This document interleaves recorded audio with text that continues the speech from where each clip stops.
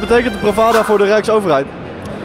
Nou, voor de Rijksoverheid uh, betekent dat dat wij hier heel veel partijen die wij als Rijksoverheid tegenkomen in ons normale werk ontmoeten. Nou oh, heb ik gehoord dat de Rijksoverheid de komende tijd 1,5 miljoen vierkante meter afstoot aan werkplekken.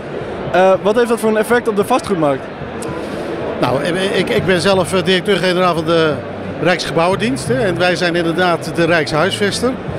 Uh, om het even precies uh, te vertellen. Wij zijn als Rijk erg aan het inkrimpen. Uh, er moet bezuinigd worden, dus minder ambtenaren, minder werkplekken. Daarbij komt ook het nieuwe werken.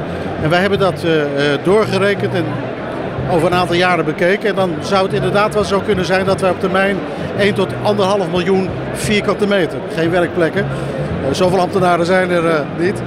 1 eh, tot 1,5 miljoen vierkante meter eh, over gaan houden. Is het nou ook zo dat, dat de vastgoedmarkt naar u toe komt, omdat er dan zo'n grote verandering plaats gaat vinden?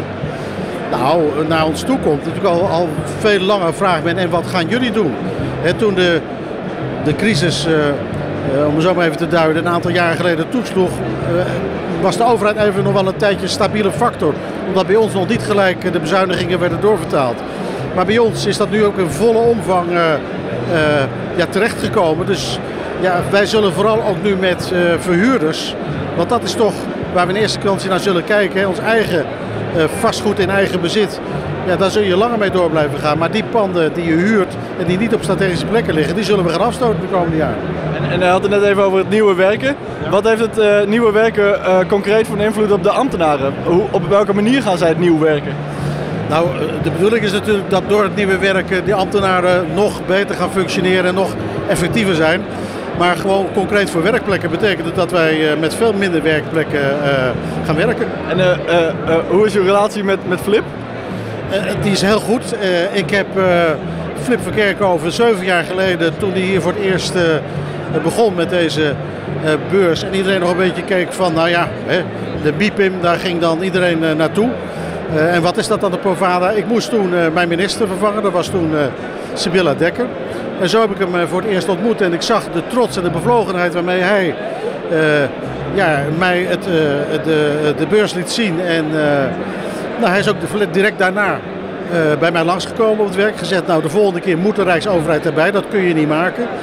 En hij heeft me overtuigd en ik ben nu inmiddels dus een, een, trouwe partner van hem. wat gaat u nog van, vandaag doen hier op de vastgoedmarkt?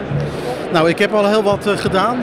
We zijn bij een paar bijeenkomsten geweest. De Rijksgebouwendienst, de Rijksoverheid wordt natuurlijk, als het gaat om duurzaamheid, ook zeker aangesproken. Wij hebben de grootste vastgoedvoorraad in Nederland. 4,5 miljoen vierkante meter kantoorruimte alleen al. Dus nou ja, aan ons wordt wel regelmatig gevraagd de mening te hebben. Ik heb zelfs twee prijzen mogen ontvangen voor gebouwen die een hele grote sprong hebben gemaakt van een laag energielabel naar een hoog energielabel. Dus daar zijn we heel trots op.